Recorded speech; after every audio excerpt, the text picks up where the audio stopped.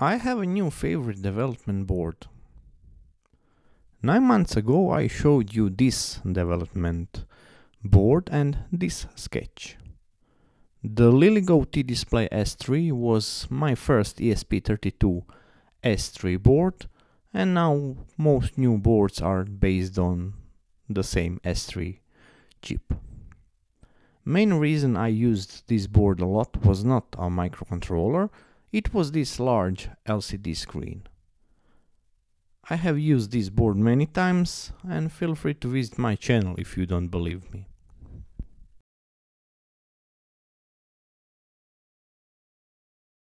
And now I have a new favorite board. This board is made by the same company, LilyGo, and this is T-Display AMOLED. Yes, for the first time we have AMOLED screen on the development board. And it looks amazing. This looks like screen from modern phone, an expensive one. Colors are beautiful, black is really black and everything looks sharp, modern and I don't know, simply beautiful. Resolution of this display is 536 by 240. Yes, you hear it right, 536 by 240. Amazing display. Just check these colors. Even simple black and white examples look great.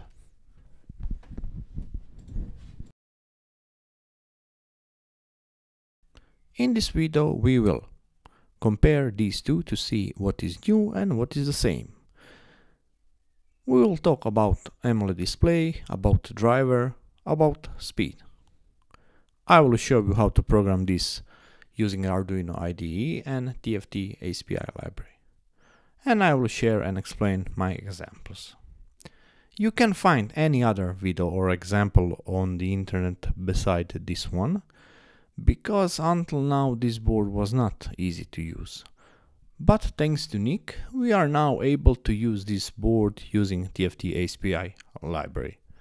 I will talk about this later, but first, before we start, I will invite you to join this community and to subscribe to this beautiful channel. Also, if you are interested in buying this one or this one, you can find affiliate links in description. That way I will earn 2% and I will be rich and I will buy thousand of similar boards. Okay, let's compare these two. Both boards are running demonstration sketches. Both designs look similar, but I hope you can notice that my coding has also improved a bit. For example, this part could be done much nicer. I'm happy to see improvements, improvements in my work. Okay, what is the same? Both boards are powered by ESP32S3. They have same amount of memory. Both boards have two push button and reset button here. We still have this acrylic which helps to protect the screen.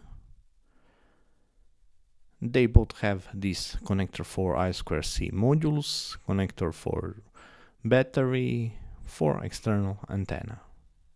And they are very similar in size. And that's it. Now let's finally see what is new. In the AMOLED version, acrylic is also covering these push buttons, which works great. Now push buttons are also protected. Also, now we have a built-in LED under this acrylic, which can be controlled in code, and that LED is connected to pin 38. This is a great update, but I wish it was blue. The new T-display AMOLED has this charger LED which will tell us that battery is charging. And the new version also has this antenna. So it will probably have better Wi-Fi reception. But the main difference is this beautiful display. or screen. I don't know if you can see the difference on camera, but this is huge improvement or update. And I have problem now. I want more of these. Also it is important to mention that this one is more expensive and the reason is of course this screen. If we take a look on a product page we can see that driver for this AMOLED display is RM67162 and we can see that interface is QSPI. We can also notice that there is not too many information about this board but if we go to github page we can find more useful information how to install ESP boards in Arduino and how to set board in Arduino IDE but there is there was one problem. If we take a look in example folder there is only one example and that example is is using LVGL library. And I don't know how to use that library I just wanted to use TFT_eSPI to be honest I don't know how drivers work and I was afraid I will not be able to use and program this board. But one of my subscriber, Nick the Fix, was able to find solution how to program this board using TFT API. He also prepared driver files for us, he added many new functions, and thank you Nick, without you this board would be useless to me and to many others. LilyGo, if you are watching this, if you need a capable man who knows and understands this kind of displays, Nick is right person for you. And now I will show you how we can program this board. I will show you trick which allows us to use TFT_eSPI library. Yes, I will share this example and uh, this example but for to better understand how this works I prepared for you hello world simple example which will draw hello world label on screen and it will draw three rectangles red green and blue in folder we can see that we have our Arduino file and we have our header file with pins configuration and we have these two files Nick prepared for us. These are driver files. So each time you are using this board in same folder where is your Arduino file, you need these three files also. First, you need to include this driver file and you need to include TFT_eSPI library. But you this time you don't need make uh, you don't need to change anything in TFT_eSPI library because we will not use drivers defined in that library we will use this file we will use just TFT_eSPI to write into Sprite to use great functions Bodmer gave us in that library. I hope this makes sense. So we'll need TFT_eSPI, we will need one sprite, and we will need init function for our driver. We will create sprite, I'm using full frame sprite. and I have in loop I, I'm calling one, only one function which is draw.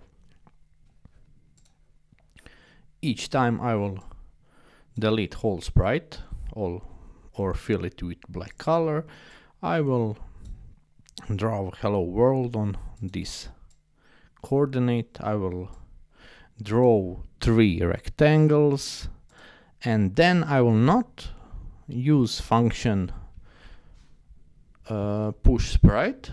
I will use this function. This this is function which is defined in this file with this function we will push sprite to this location. I hope uh, this is not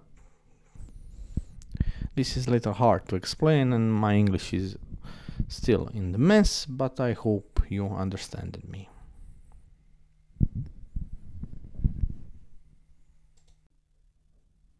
And don't forget to set these settings in Arduino IDE. You can find these settings on their GitHub page.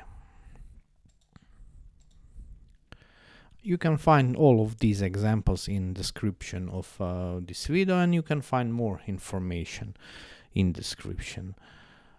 Uh, this is good looking example but right now it is only for demonstration and it show only uh, random values except this battery voltage which is really battery voltage push buttons are used to change brightness and um, to turn on and off that LED screen so also very good example and you can learn a lot from it.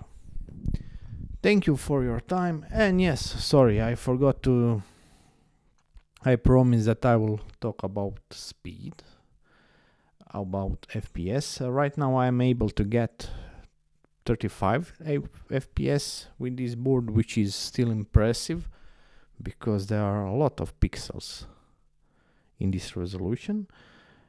And I think this is possible because because uh, QSPI protocol. But I will leave this topic to for next video because Nick is able to get 50 frames per second so we need to investigate this and I will there, there will be a video about getting max FPS using this board. Thank you for your time. Tell me what you think. Leave a comment. Please subscribe. If you want, you can buy me a coffee. And have a nice day. And if you want to buy this, be hurry. I think this board will, this board will be sold out very fast. Thank you. Goodbye.